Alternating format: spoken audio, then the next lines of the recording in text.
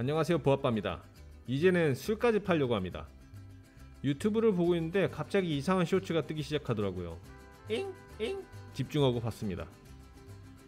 뭐야 이제 술까지 만들어?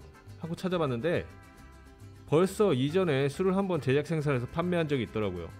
2018년 우리 일론 머 일론 머스크가 이런 트위터를 남겼습니다. 테스킬러가 곧 나올 거야. 응?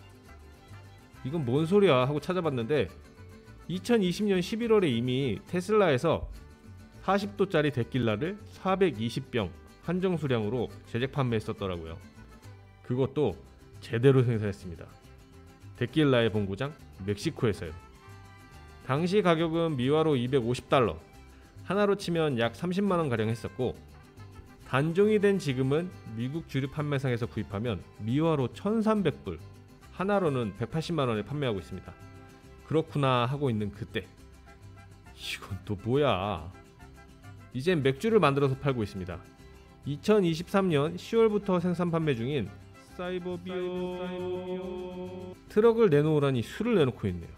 사이버비어는 미화 150불 하나로 약 20만 원 정도에 판매 중입니다. 아 진짜 미쳤나 진짜. 어.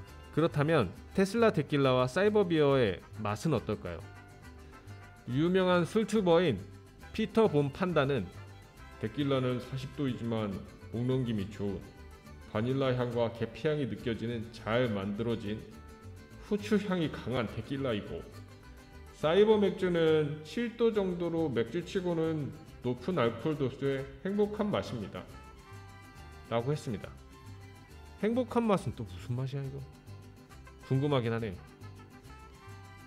이 사이버 맥주는 또 테슬라에 큰 영향을 끼쳤었는데 2023년 10월 16일 맥주가 출시된다는 기사가 나온 후 주가가 나락 나락 나락.